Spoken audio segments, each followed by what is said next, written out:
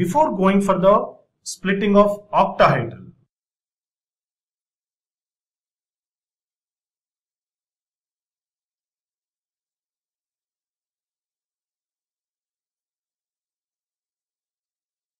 let's see the splitting of d orbitals in tetrahedral complexes. So before understanding how the splitting is being done, let's see the structure, the structure of tetrahedral. This is the tetrahedral structure. You can see this is the cube. This is the cube. The corners of the cube are in this way.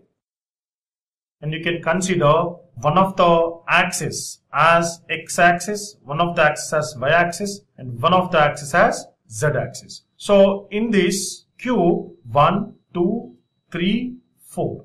Four corners of the cube are being occupied by the ligands in the tetrahedral splitting. So the approaching of will be in this way.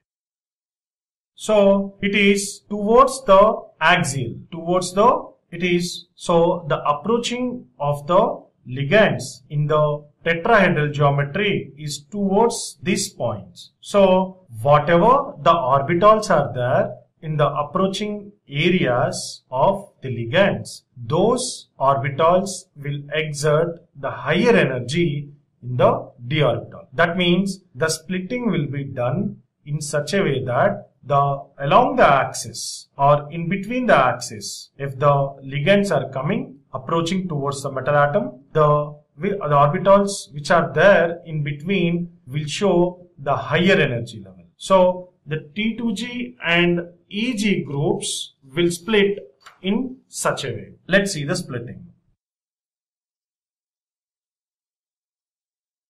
This is the d orbital.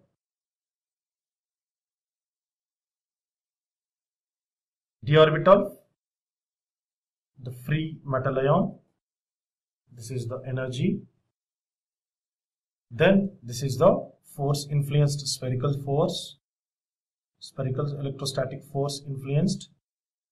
So the spherical field is being created. So the energy is increased. From here it will split into the non-axial and the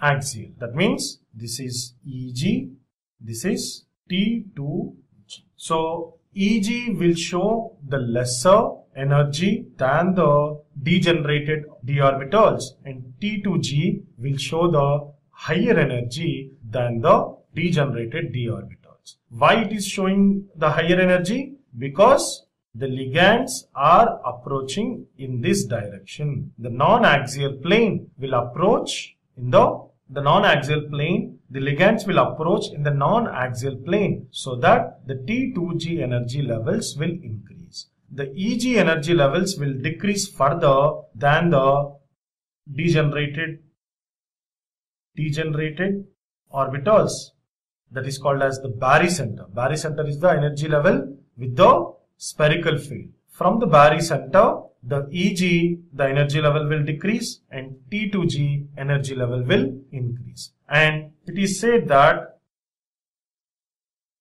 it is 2 by 5 of delta, it is 3 by 5 of delta. Delta is the crystal field stabilization energy. For tetrahedral complex, is tetra delta T means tetrahedral crystal field stabilization energy. So because it is going upwards, because we have 5 orbitals, so 2 by 5 of the delta T will be increased for the T2G and 3 by 5 of the delta T will be decreased to the downwards than the barycenter. So this splitting, this splitting of orbitals will purely depends on how the ligand is how the ligand or the ligand is because the ligands have strong field and weak field ligands.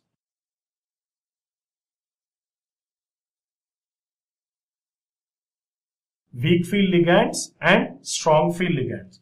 Strong field ligands are those ligands which will split the d orbitals in such a way that strong field ligands will split the d orbitals in such a way that the maximum splitting should be done. And the weak field ligands will split the d orbitals or sometimes they cannot able to split the d orbitals and the the energy between these two will decreases. So now we will write the spectrochemical series spectrochemical series of these ligands. So from the weak field i will start. That is i minus br minus s minus 2 cl minus no3 minus f minus OH minus ET, ethyl alcohol, ETOH and oxalate, the neutral atom, the neutral molecule and H2O, the neutral molecule and NCS and EDTA